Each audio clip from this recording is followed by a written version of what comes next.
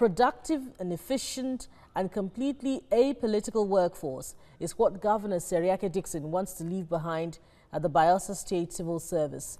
He expressed this desire at the swearing-in of Biobelemoye Charles Onyeama as the substantive head of service in the state. Ovieteme George brings us the rest of the story. First to be sworn in is Juliana Dapa Oguara as permanent secretary. Next to take the oath of office is Biobelemoye Colleen Charles Onyeama as the substantive head of service, being the most senior in the Bayelsa State Civil Service. Governor Seriake Dickson wants to build on the foundation of ongoing reforms in the state civil service. You are aware of the rot and the indiscipline, and that's why I've tried to ensure that civil service where merit is recognized, civil service where hard work is recognized, a civil service founded on discipline, not a civil service where people go and purchase grade levels and steps at will as it used to be.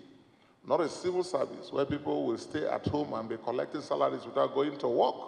Not a civil service where people, one person will have work in three, four, five places. A completely apolitical workforce is what the governor wants to see even after leaving office in February 2020.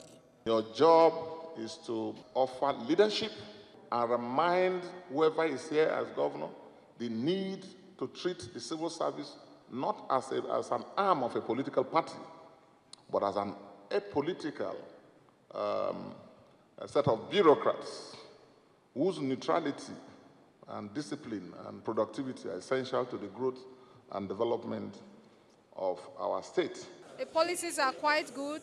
In most states, you don't even have such policies.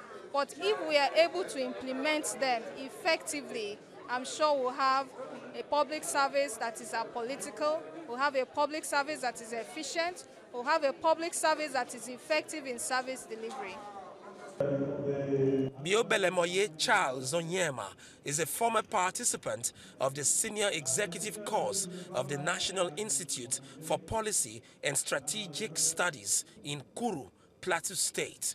Ovieteme George, TVC News, Yenagoa.